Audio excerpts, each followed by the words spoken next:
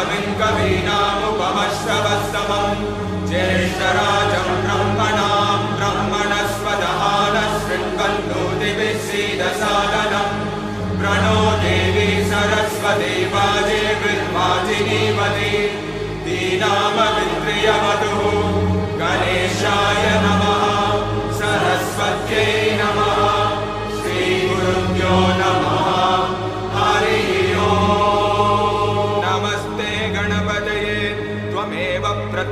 प्रत्यक्षं तत्त्वमसि त्वमेव केवलं कर्तासि त्वमेव केवलं दर्तासि त्वमेव केवलं हर्तासि त्वमेव सर्वं कल्पितं ब्रह्मासि त्वं साक्षात् आत्मासि नित्यम् ऋतं वच्मि सत्यं वच्मि अवत्वं माम् अववक्तारम् अवश्रोतारम् अवदातारम् अवधातारम् अवानुजानमवशिष्याम् अवपश्चात्ताद् अवपुरस्ताद् अवोत्तरात्ताद् अवदक्षिणात्ताद् अवचोत्पात्ताद् अवादरात्ताद् सर्वतो मां पाहि पाहि समन्तात्। त्वं वाङ्मयस्वं चिन्मयः त्वम् आनन्दमयस्वं ब्रह्ममयः।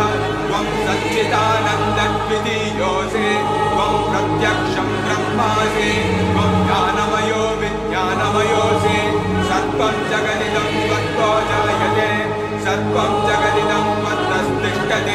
सर्वं जगदिदं त्वयि प्रत्येति त्वं भूमिरावो नलो निलो नवः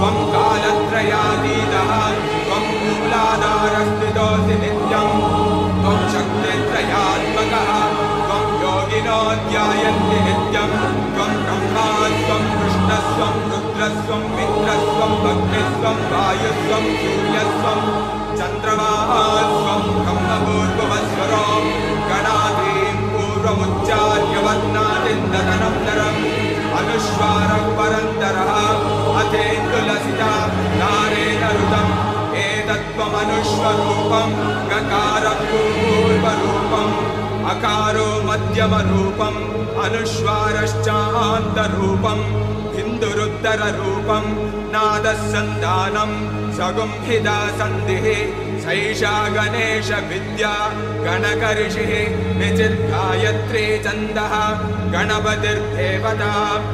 ॐ गङ्गणपतये नमः।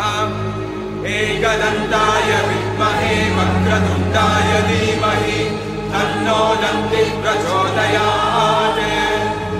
एकदन्ताय विद्महे वक्रतुण्डाय धीमहि तन्नो दन्ति प्रचोदयात्। एकदन्ताय विद्महे वक्रतुण्डाय धीमहि तन्नो दन्ति प्रचोदयात्